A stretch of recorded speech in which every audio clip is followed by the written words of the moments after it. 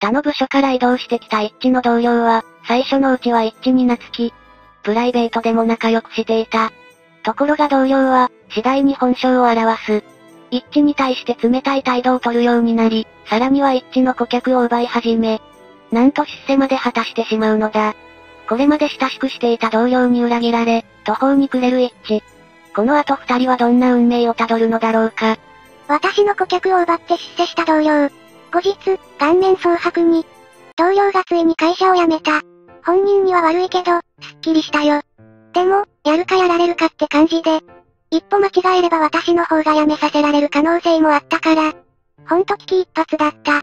一件落着した記念に、ここでちょっと語りたいんだけど。聞いてくれる人いるかな？やめてよかったってことは相当やばい同僚と見た。とりあえず一致はやられなくてよかったじゃん。続きを詳しく。ありがとう。その同僚っていうのがめちゃくちゃ性悪な女で。今、私は平和に仕事してるけど、つい最近まで彼女に振り回されまくってて、ほんと大変だったんだ。まずは簡単にスペックを書いとくね。私は28歳、独身の会社員で、入社以来ずっと営業部に所属してる。同僚は A 子と言って、私と同い年。同じく独身で、総務部から営業部に移動してきた子なんだ。じゃあ営業では一致の方が一応先輩ってことになるんだな。そんな新入りが、一致をいびってきたんか ?A 子が移動してきたばかりの頃は、年が同じっていうのもあって、普通に仲良くしてたんだ。仕事の相談に乗ったり、一緒にランチに行ったり、プライベートで飲みに行ったりもした。ちなみに A 子は社交的で、移動した初日からいろんな人に声をかけまくって、すぐに部署の環境に馴染んでた。ハキハキ喋るし、愛想がいいし、最初から営業部に来てればよかったのにって思うくらい、営業向きな子だったよ。対して私はどちらかというと内向的な性格で、初対面の人と話すのは、正直苦手。入社してすぐ営業部に配属された時はほんと凹んだ。それでも不器用なりにコツコツ頑張ったおかげか。新規の顧客も獲得できて、成績は、まあまあ良かったんだ。口下手でも営業はできるんだって、自信がついたよ。内向的な人の方がかえって営業に向いてるっていう話も聞いたことあるよ。自分からぐいぐいアピールしないで相手の話を聞こうとするのが好感を持たれるらしいね。確かに。一致さんは話しやすい人ですね。っていろんなお客さんに言われたことある。最初は自分に営業なんて絶対無理って思ってたけど、人の適性って、実際に仕事やってみないとわからないもんだね。まあ、そんな感じで私は取引先に足しげく通いつつ、A 子のサポートもしてあげていた。頼られるのは嬉しかったし、A 子の仕事がうまくいった時は私も一緒になって喜んだし、当時は毎日が楽しかったよ。そんな風に一致の会社員生活は順風満帆かに見えたのだが、A 子が変わり始めたのは、移動してきて半年ほど経った頃だった。気づけばあんまり私に話しかけてこなくなり、ランチも別々に行くようになり、どうも A 子の方が私に対して距離を置いてきてる感じだった。以前は A 子は何かあればすぐに、一致さん教えて。一致さん助けて。って言って私を頼ってきてたから、一体彼女にどんな心境の変化があったのか不思議で仕方なかったし、距離を置かれるのは、ちょっと寂しかった。でも、考えてみれば同僚だからって毎日ベタベタしてても仕方ないし、あんまり気にしないようにしたんだ。もともと私は一人でいるのが苦にならないタイプだったし、人とつるまない方が、自分の仕事に集中できるしね。それに A 子も、別に私を無視するわけじゃなくて、仕事で必要な時は、普通に会話をしてたの。だから私は今まで通り、淡々と仕事を続けてたんだけど、ある時、A 子はとんでもない本性を表したんだよ。その事件が起きたのは、私が有給を取っていた時のこと。県外に住む友人の結婚式出るために、2日続けて休みを取ることになったんだ。で、休み明けの朝、早めに出社したら、私のデスクの上に、伝言メモが何枚か置いてあったの。まあメモが置いてあること自体は、別に問題じゃない。そのほとんどが取引先から私宛に電話があったっていう内容で、平日に続けて休んでたから連絡が溜まるのはしょうがないな。と思ったよ。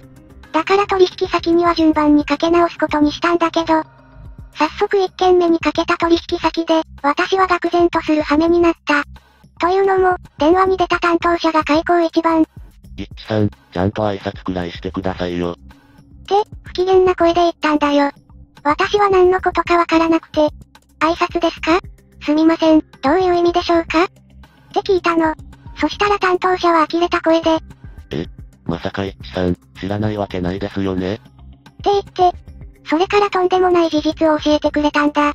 取引先担当者によると、それは2日前に起きた出来事らしいんだけど、私じゃない女性社員が取引先に突然やってきて、って今日から担当が変わるので、よろしくお願いします。言ってきたみたいで、それで驚いた担当者が、担当変更するなんて、聞いてませんよ。って返したそうなんだけど、その女性社員は、いいえ、担当は今日から私になります。って、自信満々に言ったらしく。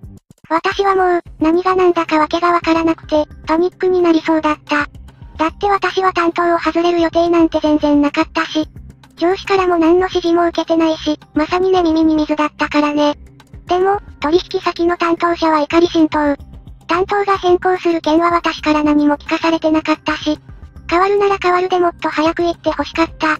一輝さんのことは信頼してたからちょっとがっかりしたって、私を責めてくるんだよ。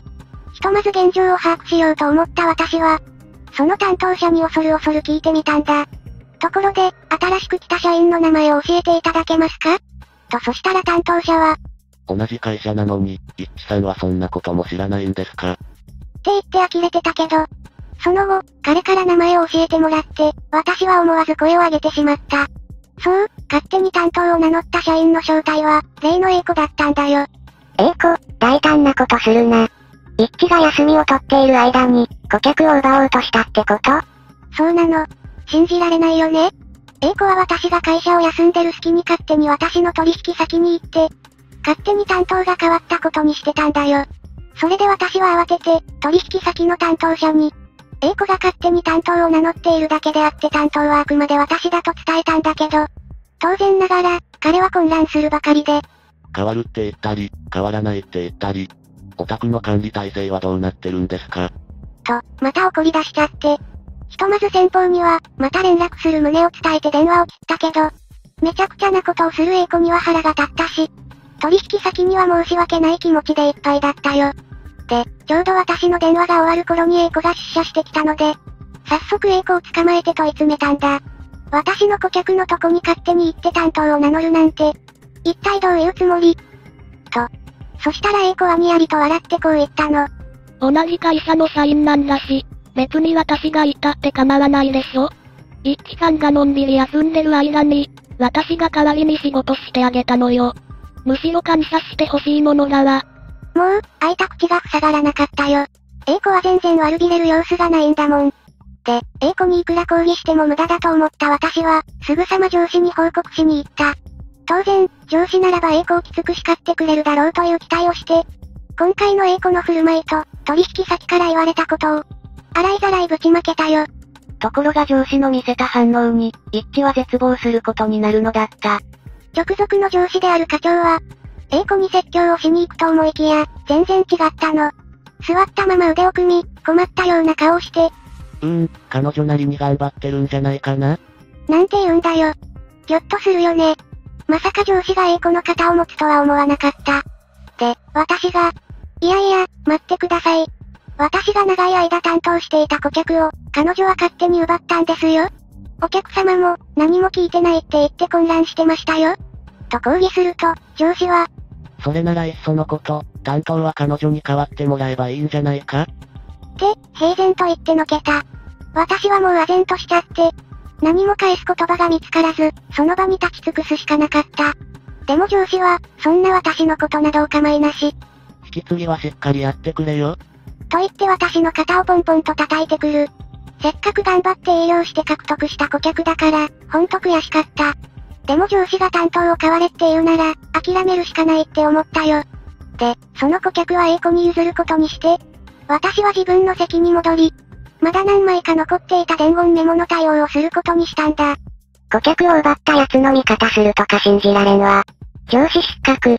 そんな力技が通用する会社ってやばくない？上司はええことグルだったとか？それが、後で職場の先輩から聞いてわかったんだけど、どうも A 子は移動してきた時から上司に色目を使ってたらしくて、私は全然気づかなかったんだけど、A 子の方から、しょっちゅう上司に話しかけたり、ランチに誘ったり、LINE 交換して、個人的に連絡取ったりもしてたみたいなんだ。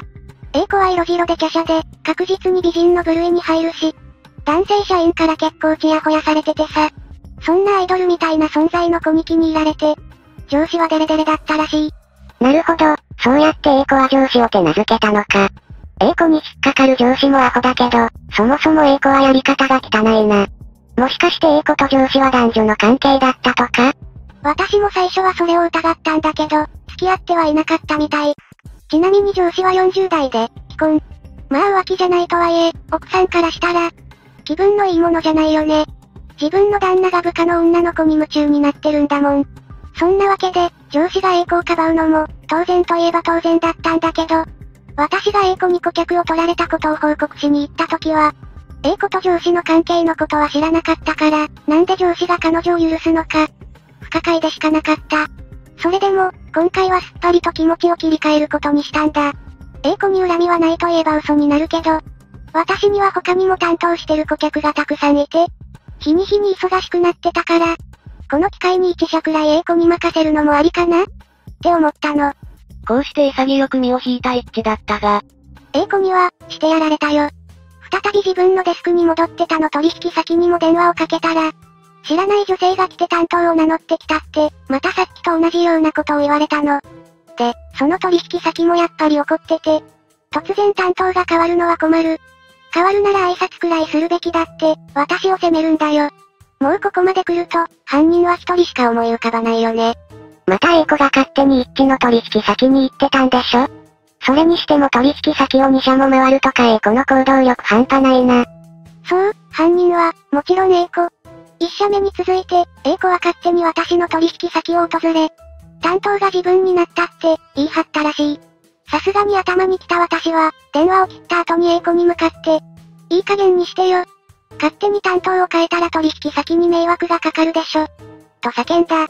すると A 子は、勝ち誇ったようにニヤニヤと笑い、とんでもないセリフを吐いた。あなたみたいに地味な女よりも、私が担当する方が取引先も喜ぶに決まってるわ。それに、営業の世界は実力すぎよ。私の方ができる女だってことを証明してみせるわ。こんな風に A 子は、自分のやったことを無理やり、正当化するの。で、まさかと思いながら次の取引先に電話をかけると、またしても A 子に乗っ取られてて。だから私はまた慌てて上司のところに行き、A 子が1社だけでなく2社も3社も私から奪おうとしていることを訴えた。でも、残念ながら上司からは期待していた反応を得ることはできなかった。彼は、まあまあ、いいじゃないか。それだけ彼女はやる気があるっていう証拠なんだから。君は彼女に負けないように、新たに取引先を開拓すればいいだろう？って言って、どこまでも A 子の味方をするの。怒りを通り越して、呆れちゃったよ。一致から顧客を奪いまくって、一体 A 子は何がしたいんだ？もしかしたら一致に恨みでもあるんじゃない？それが、私いつの間にか A 子からライバル認定されてたみたいで。A 子はいかにも栄養向きな子ということもあり、確かに周りから期待はされてたけど、やっぱり、栄養職としてキャリアの長い私の方がはるかに成績が良くて、彼女はそれが気に入らなかったらしい。A 子は移動してきたばかりの頃は私にくっついてきたけど、A 子に比べて地味で目立たない私を、心のどこかで見下してたんだと思う。そんな私を蹴落としたくて、あえて私の顧客を奪うという手段を選んだんじゃないかな。私は自分の時間を削って A 子をサポートしてたし、恨まれることなんて何もしてないはずだから、なんでこんなひどい目に遭わなくちゃいけないんだろうって、途方に暮れたよ。直属の上司は、すっかり A 子の手下みたいになってるし。で、私も課長がダメなら部長とか、もっと上の人に訴えればよかったんだろうけど、A 子の強引なやり方にすっかり参っちゃって、もう、なるようになれって感じで、奪われた顧客のことは諦めてしまった。投げやりな気持ちになるのもわからなくはないけど、一致が動かないでいると A 子ますます図に乗るんじゃないせっかく頑張って開拓した顧客なんでしょ？泣き寝入りしちゃダメだよ。そうだよね。私もすごく反省してる。何しろ私がおとなしく耐えてる間に、なんと A 子、出世しちゃったからね。私を追い抜いて、主任に昇格したの。事例が発表された時はショックだったし、悔しくて仕方なかった。当の A 子はというと、出世が決まって大喜び。で、私が一応、おめでとう。よかったわね。